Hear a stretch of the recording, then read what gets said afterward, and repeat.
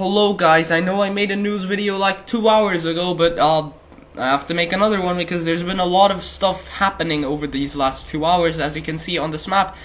First of all, yes, all of the Nader troops that were trying to invade the Penola area are now gone. They didn't surrender this time, they were pushed out, but still. Um, as you can see, they're now moving towards the northern part to attack the other bigger cities of Izuma and obviously the capital Smarskograd.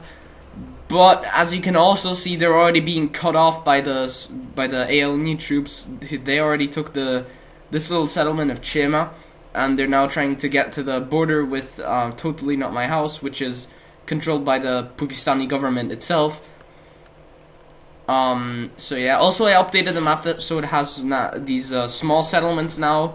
I only placed them in the Nitter occupied parts though.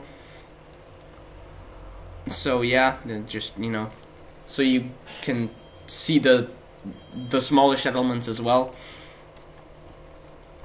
Um, and another thing you are you can see here is that they they took uh, they took Zhukiv and they're now moving down from Lechisk and from Penola down into Sukratva. They're already on the border. Mind you, this map is like eight times the size of the normal map. So, um, most of this you cannot see if I put it on the normal scale.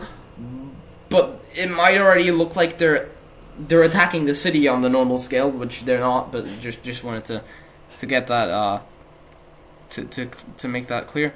But yeah, they, they they're moving towards Sukratva now.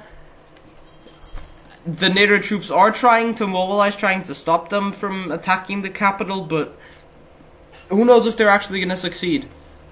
I, I don't think they're going to get to Sukratva in like within the next week or so. It's, it's probably going to take them a while. But maybe something's gonna something's gonna change, and then they're just gonna take the city in like a day. Who knows? but yeah, just wanted to make another update. Uh, yeah, that's pretty much it. Bye.